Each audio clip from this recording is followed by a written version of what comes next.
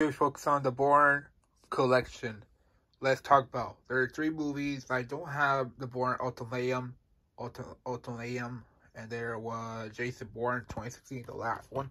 Only have the first two are from Matt Damon from, the Matt Damon, but third, the fourth film starring Jeremy Irons, Jenny or Jeremy Renners, Michelle Rodriguez, Edward Norton, John June Ellen, and Albert Finney.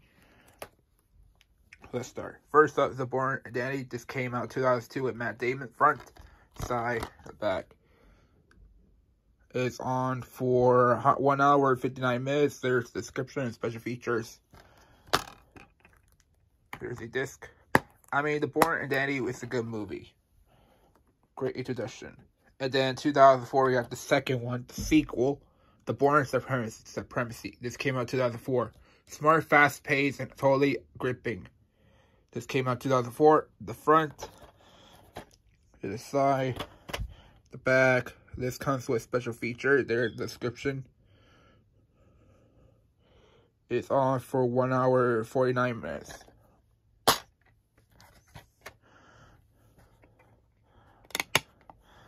There's this. I mean, part two is a good sequel in my opinion. I love the first. I love the second one better than the first one. And then 2012 we have The Bourne Legacy. Came out 2012. They starred Jeremy Renner, Rochelle, R Rochelle, Rachel Weisz, Ed Norton, Joan, June, Allen, Albert Finney. This came out 2012. The Best Bourne Yet by uh, Joe, Jer Jamie Philip MMRoy.com. Came out 2012 front. Here's the side. This is the fourth film in the series. There was now never just one. There's description. It's on for 2 hours and 15 minutes. Very longer an hour movie.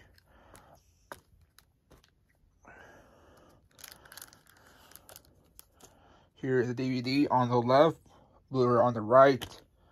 Here's the bonus disc containing all the special features. Which is cool with the most uh, special features. That's basically it, my Bourne Supremacy, on uh, the Bourne Collection 2021 update.